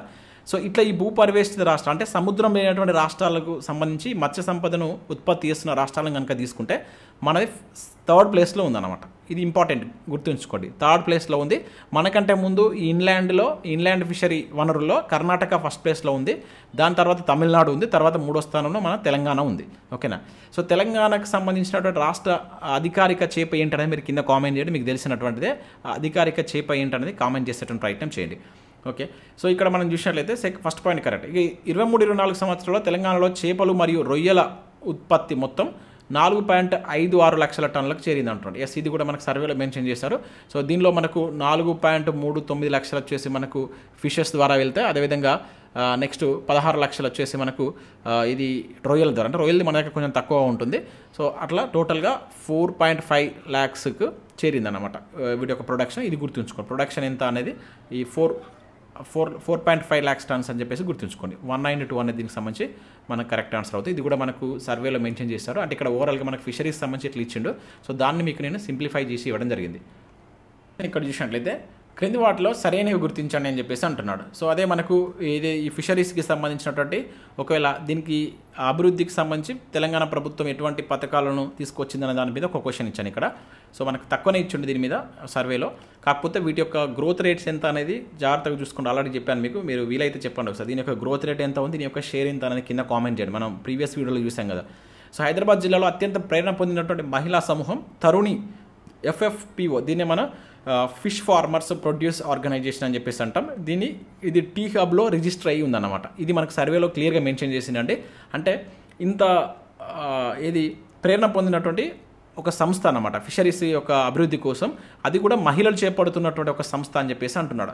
సో దీని గురించి మనకు సర్వేలో మనకు అక్కడ క్లియర్గా ఇవ్వడం జరిగిందనమాట దీని యొక్క ఇంపార్టెన్స్ గురించి ఇచ్చాడు కనుక అడగవచ్చు. ఇది టీ హబ్లో మనకు రిజిస్టర్ అయిందండి. ఒక ఇంక్యుబేషన్ సెంటర్గా రిజిస్టర్ అయింది కనుక జాగ్రత్తగా గుర్తుంచుకోండి. ఈ తరుణి అనేది ఏంటి అని చెప్పేసి అడగవచ్చు. ఓకేనా? ఇక నెక్స్ట్ విషయం అంటే తెలంగాణ రాష్ట్ర ప్రభుత్వం హైదరాబాద్ దగ్గర కొహెడ వద్ద నలభై ఏడు లక్షల సారీ నలభై ఏడు కోట్లతో హోల్సేల్ ఫిష్ మార్కెట్ను ఏర్పాటు చేయనట్టు ప్రకటించింది రీసెంట్గా మనకున్నటువంటి కాంగ్రెస్ ప్రభుత్వం. సో ఈ నలభై ఏడు కోట్లతోటి సో నలభై ఏడు కోట్లతో హోల్సేల్ ఫిష్ మార్కెట్ని తీసుకురాబోతుంది అనమాట అది ఎక్కడంటే హైదరాబాద్లో ఉన్నటువంటి కోహెడ వద్ద. ఇది కూడా మనకు సర్వేలో మెన్షన్ చేసిందండి. ఓకేనా? సో ఈ రెండు కరెక్టే one nine two option C అనేది దీనికి సంబంధించి మనకు కరెక్ట్ ఆన్సర్ అవుతుంది. మీరు సర్వేలో కూడా వీటికి సంబంధించిన అంశాలు చూడవచ్చు. చాలా ఇంపార్టెంట్ మనకు సర్వేలో మెన్షన్ చేసింది కనుక మనకు బిట్ అడగడానికి ఎక్కువ ఛాన్స్ ఉంటుంది. ఇక్కడ చూడవచ్చు ఇక తరుణి. ఇక్కడ క్లియర్గా మనకు మెన్షన్ చేసింది. తర్ హైదరాబాద్లో డిస్టిక్లో ఈ తరుణి అనేటువంటిది టూ ఫిఫ్టీ మెంబర్స్ తోటి ఏర్పడ్డటువంటి ఒక ఒక సంస్థ అన్నమాట. సో దానికి టీ హబ్లో కూడా అది ఇక్కడ ఏమి ఇచ్చాడు? అది టీ ఆర్జిన్ అయిందని చెప్పేసి ఇక్కడ మనకి ఇవ్వడం జరిగిందనమాట సో దాంతోపాటు ఇక్కడ చూడొచ్చు. నలభై ఏడు కోట్లతోటి మనకు ఇక్కడ ఈ కోహైడాలో హైదరాబాద్లో మనకు ఏది డొమెస్టిక్ అండ్ ఎక్స్పోర్ట్ ఫిష్ సేల్స్కి సంబంధించినటువంటిది ఒకటి ఏర్పాటు చేయబోతున్నట్టు కూడా ప్రభుత్వం ప్రకటించిందని చెప్తున్నాడు అనమాట ఓకేనా? సో ఇది ఇక్కడ మనం గుర్తుంచుకోవాల్సిన అంశం. సో ఇటువంటి మనకు డైరెక్ట్గా అడుగుతాడు. మనకు మెన్షన్ చేసిందంటే బిట్ అడగడానికి ఎక్కువగా ఛాన్స్ ఉంటుంది. సర్వేలో అట్లా స్పెసిఫిక్గా మెన్షన్ చేసినటువంటి వాటిపైన ప్రీ ప్రీవియస్లో మనకు చాలాసార్లు క్వశ్చన్ అడిగినండి మీరు జాగ్రత్తగా చూసుకునే ప్రయత్నం చేయండి. ఇక నెక్స్ట్ మనం ఫారెస్ట్రీకి సంబంధించి చూద్దాం. ఓకేనా? అడవులకు సంబంధించి మనకు సర్వేలో ఏమి ఇచ్చారు? మోస్ట్ ఎక్స్పెక్టెడ్ బిట్లో ఇది కూడా ఒకటి. అడవులకు సంబంధించి క్వశ్చన్ లేకుండా మనకు పేపర్ అనేది ఉండదు మీకు తెలిసినటువంటి ఎక్కువగా స్టాటిక్ అంశాల మీద క్వశ్చన్స్ అడుగుతుంటాడు. ఎక్కడ విషయం అయితే తెలంగాణ ఆర్థిక ముఖ చిత్రం రెండు వేల ఇరవై నాలుగు ప్రకారం అడవులకు సంబంధించి క్రింది వాటిలో సరైనవని చెప్పేసి అంటున్నాడు. ఇక్కడ చూసినట్టే తెలంగాణలో మొత్తం అటవీ విస్తీర్ణం ఇరవై ఆరు వేల తొమ్మిది వందల అరవై తొమ్మిది చదరపు మీటర్లు అని చెప్పేసి అంటున్నాడు. ఓకేనా? ఇరవై ఆరు వేల తొమ్మిది వందల అరవై తొమ్మిది. ఇది మనకు కరెక్టే. గుర్తుంచుకోవాల్సిందంటే మనకు పర్సంటేజ్ ఇవ్వకుండా ఒక్కొక్కసారి ఇట్లా చదరపు కిలోమీటర్లు కూడా ఇస్తాడు. సో ఇది ఎంతకి ఈక్వల్? నియర్లీ ట్వంటీ ఫోర్ పర్సెంటేజ్కి ఈక్వల్ అనమాట ఓకేనా? సో ట్వంటీ ఫోర్ పర్సెంటేజ్ అనేటువంటిది మన దగ్గర ఉన్నటువంటి అడవుల యొక్క విస్తీర్ణం శాతం పరంగా ఇది. సో మనకు నెంబర్స్ పరంగా చూస్తే ఇది. ఇది మనకు నెంబర్స్ పరంగా ఇచ్చాడు శాతం పరంగా ఇచ్చాడు సర్వేలో. చూద్దాం ఒకసారి. అండ్ తెలంగాణ రాష్ట్రంలో అటవీ విస్తీర్ణం జాతీయ సగటు కంటే తక్కువగా ఉందని చెప్పేసి అంటున్నాడు. ఓకేనా? ఇది మనకు తక్కువ ఇచ్చి తప్పించాడండి ఓకేనా? మనది ఎక్కువగా ఉంది. ఓకేనా? జాతీయ సగటు ట్వంటీ వన్ పాయింట్ సంథింగ్ ఎంత ఉంటుంది? సో దానికంటే మనది ట్వంటీ ఫోర్ పర్సెంటేజ్ ఉంది కనుక మనది ఎక్కువ ఉంది. ఇది మెన్షన్ చేసిండే అక్కడ జాతీయ సగటు కంటే మనది ఎక్కువగా ఉందన్నది క్లియర్గా మెన్షన్ చేసిండు. నేను అందుకని మీకు ఇది గుర్తుండాలి అనే ఉద్దేశంతో తక్కువ అనిచ్చాను ఇక తెలంగాణలో మంజీరా వన్యప్రాణుల అభయ అభయారణ్యం మరియు శివారం అభయారణ్యం చిత్తడి నెలలుగా పిలువబడుతున్నాయి. ఇది కూడా మనకు సర్వేలో మెన్షన్ చేశారు. మీకు చూస్తాను సో ఇది కరెక్టే. సో ఇక్కడ ఒక ఇది ఒక రకమైనటువంటి ముసళ్ళు కూడా నివసిస్తాయి అన్నమాట అది మనకు ప్రీవియస్లో క్వశ్చన్ క్వశ్చన్ అడిగినటువంటి సందర్భాలు కూడా ఉన్నాయి. సో దాన్ని మనం ఏమని పిలుస్తాం? మగ్గర్ మగ్గర్ ముసళ్ళు అనేటువంటి మనకి ఎక్కడ కనబడతాయని ప్రీవియస్ బిట్ ఇది. టీఎస్పీఎస్సీ ఎగ్జామ్లో అడిగాడు. సో ఇవి ఎక్కడ ఈ చిత్తడి నేలలు? ఏవైతే మనకు మనకి యాక్చువల్గా తెలంగాణలో కనుక చూసినట్టయితే పన్నెండు రక్షిత ప్రాంతాలు ఉంటాయి తొమ్మిది అభయారణ్యాలు ఉంటాయి మూడు జాతీయ పార్కులు ఉంటాయి అన్నమాట. ఓకే ఈ తొమ్మిది అభయారణ్యాల్లో ఈ రెండు ఒకటి. ఈ రెండు చిత్తడి నేలల కింద పరిగణించబడితే ఆ చిత్తడి నేలలోకి ఇంపార్టెన్స్ ఏంటంటే ఈ మగ్గర్ అనేటువంటి ముసళ్ళు ఇక్కడ నివసిస్తాయి అన్నమాట ఓకేనా? ఇవి చాలా ఇంపార్టెంట్. సో ఇవి అడగడానికి ఎక్కువగా ఛాన్స్ ఉంటుంది. ఇవి ఏ ప్రాంతంలో ఉన్నాయనేది కూడా మనం గుర్తుంచుకోవాల్సి ఉంటుంది సబ్జెక్ట్ పరంగా. సో ఇది ఇరవై నాలుగు శాతం అనేది మీరు గుర్తుంచుకోండి. ఒక జాతీయ సగటు అనేది ఎంత? మనకు ఇరవై ఒకటి పాయింట్ మూడు నాలుగు ఉందంట. సో దీనికంటే మనది ఎక్కువగా ఉంది. అంటే ఇది దేశంలో చూసుకుంటే మన దగ్గర ఎక్కువగా ఉందని చెప్పేసి చెప్తున్నాడు. సో వన్ నైంటీ త్రీ అనేది సరే అనేది అవుతుంది. ఇక్కడ దీనికి సంబంధించి ఇది మనకు కరెక్ట్ ఆన్సర్ అవుతుంది. ఓకేనా? సో ఈ అంశాలను మనకు యాజ్ ఇట్ ఈస్గా నేను సర్వే నుంచి తీసుకున్నాను ఇక్కడ మీరు చూడవచ్చు ఫారెస్ట్ అండ్ ఎన్విరాన్మెంట్ అని చెప్పేసి ఉంది. సో దీనిలో మనకు స్టార్టింగ్లోనే కొంచెం డేటా ఇచ్చాడు. సో ఈ డేటాతో పాటుగా ఇక్కడ వీటికి సంబంధించి మీరు చూడవచ్చు. సో ఎట్లా ఉంది మన దగ్గర అనేటువంటి ఇక్కడ మీరు చూసినట్లయితే పన్నెండు ఇవ్వచ్చు రక్షిత ప్రొటెక్టెడ్ ఏరియాస్ కావచ్చు తొమ్మిది వైల్డ్ లైఫ్ శాంక్చురీ కావచ్చు మూడు నేషనల్ పార్క్స్ ఉన్నాయని చెప్పేసి చెప్తున్నాడు మన దగ్గర మొత్తం మీద. అయితే దీనిలో ఇక ఇరవై ఆరు వేల తొమ్మిది అరవై తొమ్మిది స్క్వేర్ మీటర్స్లో మనకు జాగ్రఫికల్ ఏరియా ఉంది. సో అది దేంట్లో ఒక లక్ష పన్నెండు వేల డెబ్బై ఏడు స్క్వేర్ మీటర్లో ఇంత మనకు ఉందని చెప్తున్నాడు. ఇది అంటే ఇది బై ఇది చేస్తే మనకు ఇంత పర్సెంటేజ్ వస్తుంది. ఇరవై నాలుగు పర్సెంటేజ్ ఉందని చెప్పేసి చెప్తున్నాడు. ఓకేనా? ఇది ఎట్లా అంటున్నాడు? బెటర్గా ఉందన్నమాట. నేషనల్ యావరేజ్ కంటే ఇగో నేషనల్ యావరేజ్ వచ్చేసి twenty one point three four ఉంటే మనది ఎక్కువ ఉందని చెప్పేసి దాన్ని ఇండికేట్ చేస్తున్నాం. మనం బెటర్ పొజిషన్లో ఉన్నాం భారతదేశంతో పోల్చుకుంటే అని చెప్పేసి చెప్తున్నాం సర్వే అంటే అంతే కదా భారతదేశ మనది ఏ పొజిషన్లో ఉన్నాం ప్రభుత్వం ఎంత అది చేసిందని చెప్పుకోవడమే దాని యొక్క ముఖ్య ఉద్దేశం కింద మనం చూస్తున్నాం. దానిలో ఇక్కడ మీరు చూసినట్టు ఇగో మొసళ్ళకు సంబంధించి మనకు మంజీరా వైల్డ్ లైఫ్ శాంక్చరీ కావచ్చు అదేవిధంగా మీకు ఇంతకుముందు చూసినట్టు శివారం వైల్డ్ లైఫ్ శాంక్చరీలో ఏం ఇంపార్టెన్స్ ఉన్నాయనేది కూడా ఇక్కడ మనకు వాటికి స్పెసిఫిక్గా మెన్షన్ చేశారు కనుక వాటి గురించి మనం క్వశ్చన్ రూపంలో ఇస్తున్నాం. ఓకేనా సో ఇవి వన్ నైన్ త్రీ అనేది దీనికి సంబంధించి మనకు కరెక్ట్ ఆన్సర్ అవుతుంది. ఇక తెలంగాణ రాష్ట్రంలో అటవీ రంగం నుండి వచ్చేటువంటి ఆదాయం రెండు వేల ఇరవై ఒకటి ఇరవై రెండు నుండి ఇరవై రెండు ఇరవై మూడు వరకు ఎంత పెరుగుదలను చూపిస్తుంది అంటున్నాడు ఇది క్లియర్గా మనకు మెన్షన్ చేసిందండి అక్కడ ఆదాయం పరంగా. సో పదిహేను శాతమా పదమూడు శాతమా పది శాతమా ఇరవై ఐదు శాతమా. సో పదమూడు అండి. పదమూడు పాయింట్ రెండు ఆరు అని చెప్పేసి ఉంది అక్కడ. సో అప్రాక్సిమేట్గా మీరు పదమూడు శాతం అని చెప్పేసి గుర్తుంచుకోండి. అంటే తెలంగాణలో అటవీ రంగం అనేటువంటిది ఆదాయం అనేటువంటిది ఎక్కువ వస్తుంది అని చెప్పడం కోసం ఇది ఒక అంటే లాస్ట్ ఇయర్స్ను కంపేర్ చేస్తూ మనకి ఇక్కడ మెన్షన్ చేసింది. ఇక్కడ చూడవచ్చు. రెవెన్యూ అని చెప్పేసి ఒక హెడ్డింగ్ తోటి ఇచ్చాడు అనమాట మీరు చూడవచ్చు ఇక్కడ. ఇటువంటి వాటిని మనం మర్చిపోవద్దు. అడగడానికి ఎక్కువగా ఛాన్స్ ఉంటుంది. ఓకేనా? ఫోకస్ చేసినాడు. అంటే వీటి మీద మనకు ప్రభుత్వం ఫోకస్ చేసింది కనుక ఎగ్జామ్ అడగవచ్చు. పర్సంటేజ్ అనేది పదమూడు పాయింట్ రెండు ఆరు. రెండు వేల ఇరవై ఒకటి ఇరవై రెండులో ఇది ఎంత ఉండేది? ముప్పై పాయింట్ సున్నా ఆరు క్రోడ్స్ ఉంటాయి. ఇప్పుడు అది ఎంత పెరిగింది? జనరల్గా సరే అంతకుముందు ఇరవై ఆరు పాయింట్ ఐదు నాలుగు ఉంటే ముప్పైకి పెరిగింది అనమాట పెరిగింది కదా ఇక్కడ. సో ఆ పెరిగినటువంటి పర్సంటేజ్ పరంగా చూసుకుంటే పదమూడు పాయింట్ రెండు ఆరు రెవెన్యూ పర్సంటేజ్ ఆదాయం అంటే అంత రెవెన్యూ వస్తుంది ప్రజలకు ఆదాయం అని చెప్పేసి మనకి ఇండైరెక్ట్గా చెప్తున్నాడు అక్కడ సర్వే ద్వారా. ఓకేనా? అది మీరు గుర్తుంచుకుంటే ఆ నెంబర్స్ మనకు అడగడానికి ఎక్కువగా ఛాన్స్ ఉంటుంది. నెక్స్ట్ క్వశ్చన్ చూద్దాం. సో నెక్స్ట్ చూసినట్టయితే క్రింది వాటిలో సరైనవి గుర్తించండి అని చెప్పేసి అంటున్నాడు. ఇక్కడ చూసినట్టే వన మహోత్సవం కార్యక్రమం ద్వారా తెలంగాణ రాష్ట్రంలో అటవీ భౌగోళిక విస్తీర్ణాన్ని ముప్పై మూడు శాతం పెంచాలని ప్రభుత్వం లక్ష్యంగా పెట్టుకుంది. ఎస్ ఇది మనకు కరెక్టే. సో కానీ వన మహోత్సవం అనేటువంటి దాని గురించి కూడా మనకు సర్వేలో మెన్షన్ చేసిండు. జనరల్గా మనకి ఏంటండి nineteen fifty two nineteen fifty టూలో మనకు జాతీయ అటవీ విధానం అనేది వచ్చింది. సో దానిలో ఏంటంటే మొత్తం భౌగోళిక విస్తీర్ణంలో థర్టీ త్రీ పర్సెంట్ అడవులు ఉండాలనేటువంటి ఒక నిబంధన అనేది మనకు దానిలో ఉంటుందన్నమాట. సో దీన్ని మనం రీచ్ కావాలి. సో ఆ రీచ్ కావాలంటే మనం ఎటువంటి కార్యక్రమాలు చేపడుతున్నాం తెలంగాణలో? వన మహోత్సవం అనేటువంటి కార్యక్రమం అంతకుముందు ఏది ఆ, ప్రోగ్రామ్. సో దాన్ని మాడిఫికేషన్ చేసిన అనుకోవచ్చు. సో వన మహోత్సవం కార్యక్రమం ద్వారా మన తెలంగాణ రాష్ట్రంలో అటవీ భౌగోళిక విస్తీర్ణాన్ని ముప్పై మూడు శాతం పెంచాలని ప్రభుత్వం లక్ష్యంగా పెట్టుకుంది అని చెప్పేసి కూడా చెప్తున్నాడు. అయితే ఈ కార్యక్రమం ద్వారా రెండు వేల ఇరవై మూడు ఇరవై నాలుగులో పద్దెనిమిది వందల ఏడు లక్షల మొక్కలను ఓకేనా? సో పద్దెనిమిది వందల ఏడు లక్షల మొక్కలు నాటారు. ఇది నిర్దేశించుకున్న లక్ష్యానికి తక్కువగా ఉందని చెప్పేసి అంటున్నాడు. ఎస్ ఇది కరెక్టే. సో వీళ్ళు టార్గెట్ వేరే పెట్టుకున్నారు బట్ ఆ టార్గెట్ రీచ్ కాలేదు అని చెప్పేసి కూడా మనకు సర్వేలో అయితే తెలుస్తుంది. సో ఇక్కడ ఈ రెండు పాయింట్స్ కరెక్టే. అంటే ఏమవుతుంది ఆన్సర్? One nine two. ఒకసారి మీకు ఇది ఎలా ఎట్లా ఇచ్చారనేది కూడా చూస్తాను. ఒక బార్ డయాగ్రామ్ రూపంలో ఇచ్చారు అది. ఇక్కడ మనం చూసినట్లయితే ఇది ఏంటంటే మనకు ఈ జోన్స్ వైజ్గా ఎట్లా అటవీ ఫా ఏరియా ఉంది అని చెప్పేసి ఇచ్చారు. అంత ఇంపార్టెంట్ ఏం కాదు. ఇక్కడ మనం చూడవచ్చు. వన మహోత్సవం అని చెప్పేసి క్లియర్గా మనకు మెన్షన్ చేసి ఇవ్వడం జరిగింది. అది గుర్తుంచుకోండి. ఇది మనకేంటంటే ఈ థర్టీ త్రీ పర్సెంట్ అడవులను పెంచాలనే ఉద్దేశంతో ప్రభుత్వం చేపడుతున్నటువంటి కార్యక్రమం. సో దీనిలో భాగంగా మనకి ఎట్లా అనేది ఇది ఈ డేటా అంతా ఇక్కడ మనకి ఇచ్చిండు. రెండు వేల ఇరవై రెండు ఇరవై మూడులో టార్గెట్ పెట్టుకుంది. ఇది ఏంటిది? అచీవ్మెంట్ అచీవ్ అయినటువంటిది ఇది టార్గెట్ ఓకేనా లాస్ట్ ఇయర్ మనం పెట్టుకున్న దానికి సంబంధించి ఇచ్చింది పంతొమ్మిది అయితే ఇక్కడ ఎక్కువనే చేశారు. టార్గెట్ దాటిపోయింది. బట్ ఇప్పుడు చూసుకుంటే టార్గెట్ ఏమో పంతొమ్మిది వందల ఇరవై తొమ్మిది లక్షల మొక్కలు నాటాలనుకున్నారు. కాకపోతే ఇక్కడ నాటినటువంటిది పద్దెనిమిది వందల ఏడే అనమాట అంటే టార్గెట్కి తక్కువ ఉంది. అందుకని మీకు అక్కడ క్వశ్చన్ రూపంలో మీకు క్లియర్గా ఇవ్వడం జరిగింది అనమాట సో అవి మీరు ఇక్కడ జాగ్రత్తగా గుర్తుంచుకోండి. అక్కడ ఈ ప్రోగ్రామ్ ఇంపార్టెంట్ అండి. వన మహోత్సవం అనేటువంటి దీనికి సంబంధించిన ప్రోగ్రామ్ అని అనడానికి ఛాన్స్ ఉంటుంది. అది గుర్తుంచుకోండి. ఇక నెక్స్ట్ విషయం అయితే నష్టపరిహార అటవీ నిర్మూలన నిధి నిర్వహణ. ఓకేనా? Compensatory afforestation fund management and planning authority దీన్నే మనం ఏమంటారు? కాంపా అని చెప్పేసి పిలుస్తాం. సిఏఎంపిఏ ఇది మనకు ఇట్లనే క్లియర్గా సర్వేలో మెన్షన్ చేసిందండి ఇది. ఓకే దీనికి సంబంధించి మనకు జిల్లాల వారిగా కూడా ఇచ్చారు. నిర్వా దీని యొక్క నిర్వహణలో మొదటి మూడు జిల్లాలు ఏవి?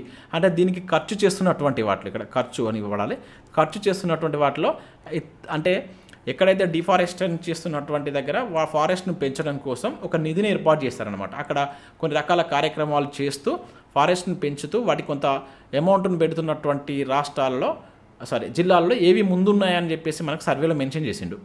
అంటే దాని యొక్క ముఖ్య ఉద్దేశం ఏంటంటే ఈ అటవిక ఆర్చిస్ల యొక్క నిర్వహణ కావచ్చు జీవ వైవిధ్యం వన్యప్రాణుల యొక్క సంరక్షణ. సో వీటికి సంబంధించి వీటి యొక్క సామర్థ్యాలను పెంపొందించాలి. పెంపొందించడం వాటి వాటిని పర్యవేక్షించడంలో భాగంగా ఎంత ఖర్చు చేస్తుంది ఒక జిల్లా అనేటువంటి దాని మీద మనకి ఈ కాంపా అనేటువంటి ప్రోగ్రామ్ అనేటువంటి తీసుకొచ్చారు. సో ఫస్ట్లో మనకు వెయ్యి కోట్లతోటి ఈ దీనికి సంబంధించిన నిధులు ఇచ్చారు. తర్వాత వాటిని వీళ్ళు ఎట్లా యూజ్ చేస్తున్నారు అనే దాని మీద కూడా మనకు సర్వేలో మనకు మెన్షన్ చేశారు. ఏ జిల్లా అత్యధికంగా ఖర్చు చేస్తున్నటువంటి జిల్లాలో ఉంది అని చెప్పేసి అడిగాడు. సో ఇక్కడ మనకు చూసినట్లయితే ఖమ్మం ఆదిలాబాద్ జయశంకర్ భద్రాద్రి కొత్తగూడెం ములుగు కుమ్రం భీం. అదేవిధంగా ఇక్కడ ఏమంటున్నాడు ఖమ్మం జయశంకర్ ఆదిలాబాద్ అండ్ దాంతోపాటుగా ములుగు భద్రాద్రి కొత్తగూడెం అండ్ కుమ్రం భీమ్ అని చెప్పేసి ఇక్కడ ఇవ్వడం జరిగింది. సో ఇక్కడ మనకు ఆన్సర్ చూసినట్లయితే ఏంటంటే ఫస్ట్ వచ్చేసి ఇక్కడ ఖమ్మం ఉందండి. ఖమ్మం తర్వాత జయశంకర్ అండ్ ఆదిలాబాద్ ఉన్నాయి. ఓకేనా?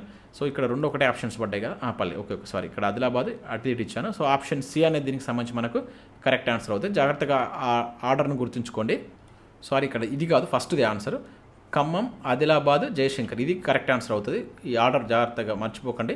So Khammam Adilabad Jayashankar. Option A అనేది దీనికి సంబంధించి మనకు కరెక్ట్ ఆన్సర్ అవుతుంది అనమాట అంటే ఇక్కడ దాదాపుగా ఖమ్మంలో ఎయిటీ ఫోర్ పర్సెంటేజ్ అనేది ఖర్చు చేసిరంటే. ఇక్కడ ఎయిటీ టూ పర్సెంటేజ్ ఇక్కడ ఎయిటీ వన్ పర్సెంటేజ్ తోటి ఫస్ట్లో ఉన్నాయి. ఇక లాస్ట్లో ఏమున్నాయంటే మనకు సంగారెడ్డి ఉందండి. ఓకేనా? సంగారెడ్డి అనేది మనకు లాస్ట్లో ఉంది. సంగారెడ్డి తర్వాత మనకు మంచిర్యాల ఉందన్నమాట. దానికంటే ముందు జగిత్యాల ఉంది. లాస్ట్ నుంచి చూసుకుంటే. ఓకేనా? అంటే సంగారెడ్డి ఒకటి మీరు గుర్తుంచుకోండి. ఒకసారి మీకు సర్వేలో కూడా దీనికి సంబంధించినటువంటి డేటా ఎట్లా ఇచ్చారనేది కూడా చూద్దాం. ఇది ఇంపార్టెంట్ అనేది కొంచెం స్పెసిఫిక్గా మెన్షన్ చేసింది అక్కడ. ఒకసారి చూసేటువంటి ప్రయత్నం చేద్దాం. సో ఇది దీనికి సంబంధించి ఇచ్చినటువంటి ఒక ఇది టేబుల్. ఇక్కడ మీరు చూసినట్లయితే ఇక్కడ టోటల్గా తెలంగాణ మ్యాప్ ఇచ్చేసి సో దీనిలో ఏదైతే ఇక్కడ మీరు చూడొచ్చు district wise expenditure in percentage under the afforestation fund between the two thousand fourteen fifteen and two thousand twenty three twenty four so ఇక్కడ నుంచి ఇంత ఖర్చు చేస్తున్నారు. అత్యధికంగా మనకు ఖమ్మం తర్వాత ఆదిలాబాద్ అండ్ తర్వాత జయశంకర్. లాస్ట్ నుంచి వెళ్ళి సంగారెడ్డి తక్కువ twenty nine percentage Mancherial and Jagtial so ఇవి మీరు గుర్తుంచుకున్న ఐటమ్ చేయండి. ఓకేనా? సో ఇక్కడ ఈ ఈ కలర్లో ఉన్నాయి మనకు హైయెస్ట్గా చేసుకున్నట్టుగా మనం గుర్తుంచుకోవాల్సిన అంటే సెవెంటీ ఎబో అనమాట సెవెంటీ టు ఎయిటీ పర్సెంటేజ్ పరంగా అట్లా. ఓకేనా? ఇది మనకు డైరెక్ట్గా బిట్ అడగడానికి ఛాన్స్ ఉంటుంది. సో దీంతో పాటు మనకు కూడా ప్రై సారీ కొన్ని టైగర్ ప్రాజెక్టుల గురించి కూడా ఇచ్చాడు. అవన్నీ మీరు సబ్జెక్ట్లో భాగంగా చదివేయడం ప్రయత్నం చేయండి. సో మనకు సబ్జెక్ట్లో భాగంగా అటువంటి క్వశ్చన్స్ ఎక్కువగా పడుతూ ఉంటాయి. నెక్స్ట్ క్వశ్చన్ చూసినట్టయితే ఇది ప్రీవియస్ బిట్ అండి చాలా ఇంపార్టెంట్ రెండు వేల ఇరవై రెండు ఇరవై మూడు ఆర్థిక సర్వే ప్రకారం తెలంగాణ రాష్ట్రంలో మొత్తం అటవీ విస్తీర్ణంలో సుమారు యాభై శాతం అటవీ విస్తీర్ణం కలిగినటువంటి జిల్లాలు ఎన్ని అని చెప్పేసి అంటున్నాడు. ఓకేనా? అంటే వాటి యొక్క భౌగోళిక విస్తీర్ణంలో యాభై శాతం మించినటువంటి జిల్లాలు ఎన్ని అంటున్నాడు? మూడు నాలుగు ఐదు ఆరు. ఆన్సర్ చూసినట్టయితే మనకు ఐదు జిల్లాలండి. ఈ ఐదు జిల్లాలు ఏంటి అనేది కూడా మనం గుర్తుంచుకోవాలి. ఓకేనా? అట్లా కూడా ఇస్తాడు. ఒకటి ములుగు. ఒకటి ములుగు జిల్లా అనేటువంటి దీనిలో ఉంది. తర్వాత మనకు వచ్చేసి భద్రాద్రి ఉంది. ఓకేనా? భద్రాద్రి. అండ్ దాంతోపాటుగా మనకు వచ్చేసి నాగర్ కర్నూలు ఉంది. ఓకేనా? నాగర్ కర్నూలు.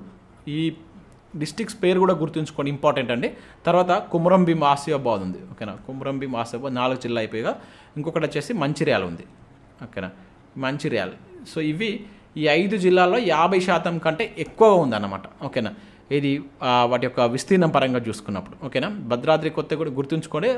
అత్యధికంగా అటవీ విస్తీర్ణం యాభై శాతం అటవీ విస్తీర్ణం కలిగినటువంటి జిల్లాల్లో ఇవి మనకు ఉన్నాయన్నమాట above fifty or fifty percent అని అని చెప్పేసి అంటే యాభై యాభై కంటే ఎక్కువ ఉన్నటువంటి జిల్లాలు ఇవి గుర్తుంచుకున్నాయి. ఐదు జిల్లాలు అని చెప్పేసి మీరు గుర్తుంచుకోవాల్సి ఉంటుంది ఇక్కడ మనం మళ్ళీ మనకు విస్తీర్ణం పరంగా వేరే ఉంటుంది. అండ్ వీటికి సం ఇప్పుడు విస్తీర్ణం పరంగా అత్యధికంగా అటవులు ఉన్నటువంటి జిల్లా ఏదంటే మనకు భద్రాద్రి కొత్తగూడెం అని చెప్పేసి గుర్తుంచుకోవాలి. ఇక శాతం పరంగా మనకు ఎక్కువ క్వశ్చన్ అడుగుతుంటాడు. శాతం పరంగా మనకు ములుగు ఉంది. ఇది మనకు ప్రీవియస్లో చాలాసార్లు అడిగిన. ములుగు ఫస్ట్ ప్లేస్లో ఉంటుంది తర్వాత భద్రాద్రి ఇక్కడ సెకండ్ ప్లేస్కి వస్తుంది. దాని తర్వాత ఏమొస్తుంది? కుమరం భీమ్ అనేది థర్డ్ ప్లేస్కి వస్తుంది. ఇది పర్సంటేజ్ పరంగా. ఇది మనకు భద్రాద్రి ఇక్కడ ఫస్ట్ వస్తే నెక్స్ట్ ఇక్కడ ములుగు వస్తుంది. ఇది మళ్ళీ సేమ్ యాజిటీజ్ ఇది ఇట్లే ఉంటుంది. ఏది? విస్తీర్ణం పరంగా ఇది. ఇవి మన ప్రీవియస్లో చాలాసార్లు క్వశ్చన్స్ అడిగింది మీకు తెలిసే ఉంటుంది. తక్కువ వచ్చేసి పర్సన్ పర్సంటేజ్ పరంగా మనకు కరీంనగర్ ఉంటుంది. అతి తక్కువ మనకు కరీంనగర్ ఉంటుంది. అండ్ దాని తర్వాత జోగులాంబ గద్వాల్ తర్వాత హైదరాబాద్ మొత్తానికి మనకు చాలా తక్కువ అనమాట జీరో పాయింట్ ఎయిట్ జీరో ఉంటుంది ఇక్కడ ఇంకా హైదరాబాద్లో. సో అవన్నీ మీరు సబ్జెక్ట్లో భాగంగా చదవండి. ఇది మనకు సర్వేలో ఉన్నటువంటి ఈ టాపిక్ సంబంధించినటువంటి ఇంపార్టెంట్ అంశాలు మీకు అయితే ఈ వీడియో ద్వారా అందించడం జరిగింది. సో నెక్స్ట్ మనం ఇండస్ట్రియల్ సెక్టార్కి సంబంధించిన వాటిపైన క్వశ్చన్స్ చూద్దాం. చాలా ఇంపార్టెంట్ ఏరియా అది. అక్కడి నుంచి చాలా క్వశ్చన్స్ రావచ్చు. సో అది అవి కూడా నేను ఒక ఐదు నాలుగు ఐదు వీడియోలో దాన్ని కంప్లీట్ చేసేటువంటి ప్రయత్నం చేస్తాను. రేపు వీడియో రాదు రేపు ఆగస్ట్ మంత్కి సంబంధించిన కరెంట్ అఫైర్స్ అడుగుతున్నారు. ఆ వీడియో వస్తుంది పార్ట్ వన్ ఎల్లుండి మళ్ళీ మనకు సర్వేకి సంబంధించిన వీడియో చేస్తాను. సో ఈ రకంగా నేను నా టైం నాకు నా టైం ప్రకారం మీకు వీడియోస్ అయితే అందించడం జరుగుతుంది. మ్యాక్సిమం నేను మీకు ఎగ్జామ్కి ఒక fifteen days or one month before survey Telangana సర్వేని అయితే కంప్లీట్గా మీకు అందించడం జరుగుతుంది. అది కూడా ఫ్రీగానే అందిస్తా. చాలామంది సార్ కాస్ట్ అయినా పర్లేదు యాప్లో పెట్టండి అంటున్నారు. నేను అట్లా అందించే ఉద్దేశం ఉంటే ముందే నేను అనౌన్స్మెంట్ చేసి చెప్పేవాడిని. సో ఇది అందరికీ ఫ్రీగా అందిద్దామనే ఉద్దేశంతో మీకు ముందుకి సిరీస్ అయితే తీసుకొచ్చాను. హండ్రెడ్ పర్సెంట్ అందించడం జరుగుతుంది. ఇప్పటికే నేను పాలిటిక్స్ సంబంధించి కంప్లీట్ అందించడం జరిగింది. చాలా సబ్జెక్టులకు సంబంధించి నేను కంప్లీట్గా చేస్తాను ఒకసారి నేను స్టార్ట్ చేసిందంటే హండ్రెడ్ పర్సెంట్ అది మీకు అందించేటువంటి ప్రయత్నం చేస్తాను. మీ నుంచి సపోర్ట్ ఉండాలి. కంపల్సరీ లైక్ చేసి మీ మిత్రులకు షేర్ చేయండి. యాప్ డౌన్లోడ్ చేసుకోండి. చాలా తక్కువ ప్రైస్కే మనం మంచి కోర్స్ అయితే ఇస్తున్నాం. ముఖ్యంగా ఎకానామిక్స్ సంబంధించిన టెస్ట్ సిరీస్కి అయితే చాలా మంచి రెస్పాన్స్ ఉంది. ఎవరైనా కావాలనుకుంటే ఇమీడియట్గా తీసుకొని తర్వాత దీని యొక్క ప్రైస్ అనేది మనం ఇంక్రీజ్ చేయబోతున్నాం. ఇంకా చాలా కోర్సెస్ పైన కూడా ఆఫర్స్ ఉన్నాయి. ఒకసారి చెక్ చేయండి. Thanks for watching thank you